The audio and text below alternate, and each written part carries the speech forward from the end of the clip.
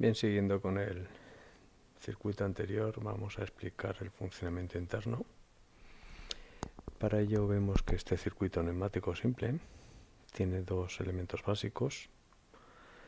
Uno de ellos es el cilindro de simple efecto y otro de ellos es la válvula de control de potencia monostable. Vamos a estudiar ambos componentes y luego entenderemos el funcionamiento de dicho circuito.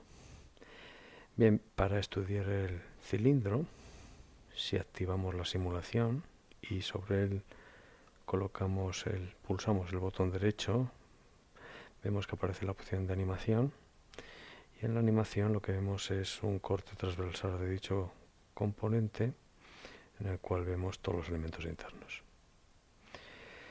¿Qué posee internamente un cilindro? Pues un cilindro lo que posee es lo que es la carcasa o la culata que la protege, que protege todos los elementos internos del exterior.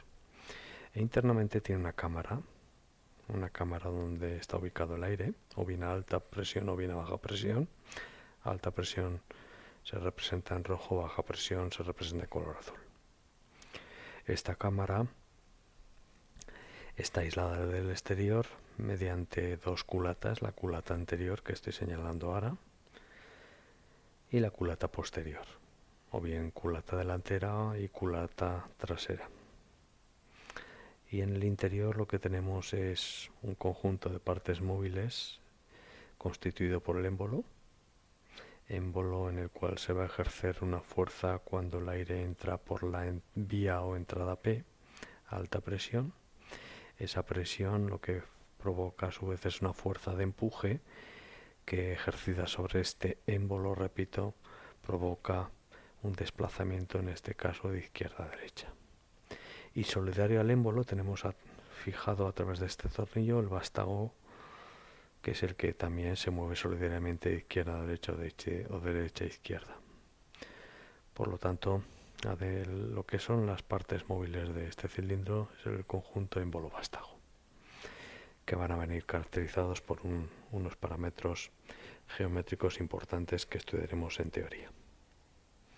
Y luego tenemos además otra serie de elementos accesorios como son las juntas o bien juntas estáticas y dinámicas. En este caso en las culatas anterior y posterior tenemos dos juntas estáticas que lo que hacen es aislar y proteger las cámaras hacia el exterior evitando la fuga de aire. Y luego tenemos también en el émbolo unas juntas dinámicas y a su vez en el vástago también tenemos unas juntas dinámicas que lo que hacen es, además de proteger, evitar rozamientos o minimizar los efectos de rozamiento. Y por último señalar que tenemos también un muelle antagonista que lo que provoca es el retroceso de las partes móviles en bolo vástago su posición de retroceso, de retroceso ante eh, la anulación de la fuerza debido a la presión de entrada. Por lo tanto, ya hemos hablado que también tenemos las dos vías de entrada. La vía P es la más importante, ya que es la que ejerce la presión sobre este émbolo vástago. Y tenemos la vía eh, de salida hacia el exterior escape que lógicamente permite salir de la cámara anterior el aire hacia la atmósfera a presión atmosférica en color, en color azul. Eh, finalizar indicando que este cilindro de simple efecto se denomina así porque el movimiento activo es el movimiento ejercido cuando el aire entra a alta presión y provoca el desplazamiento de izquierda a derecha de las partes móviles. Es en ese momento cuando el conjunto móvil, en vástago, realiza el movimiento activo, es decir, realiza un movimiento sobre la carga a una presión, en este caso a la presión en la cual hayamos tarado el aire en la entrada. El movimiento de retroceso no es un movimiento activo, ¿eh? ya que este caso es un movimiento en el cual se retrocede y la fuerza que ejerce en este caso las partes móviles es una fuerza que no es a alta presión, sino es una fuerza obtenida a presión atmosférica. Además del cilindro de simple efecto, repito porque es un cilindro en el cual se ejerce un movimiento único, alta presión, tenemos la válvula de que controla dicho cilindro. Se denomina válvula de control de potencia, ya que, controla directamente la potencia, en este caso neumática, del cilindro. Eh, en este caso, potencia debida al aire a alta presión que entra al cilindro. Esta, esta válvula que estoy señalando actualmente es una válvula que se caracteriza por dos posiciones, dos posiciones, en este caso los dos cuadrados. Además de las dos posiciones, en cada una de ellas tenemos identificadas tres vías o conductos. Tenemos por abajo dos conductos y por arriba otro. Por lo tanto, lo que caracteriza una válvula es el número de vías 3 y el número de posiciones 2. En este caso tendremos una válvula que se identificará como válvula 3-2. A su vez, internamente las, las vías están interconectadas entre sí según vienen marcadas las flechas. En este caso, la vía de arriba superior que comunica con el cilindro se interconecta con este caso con la vía que con la vía que va hacia el escape, mientras que la vía por la cual entra el aire a alta presión está bloqueada.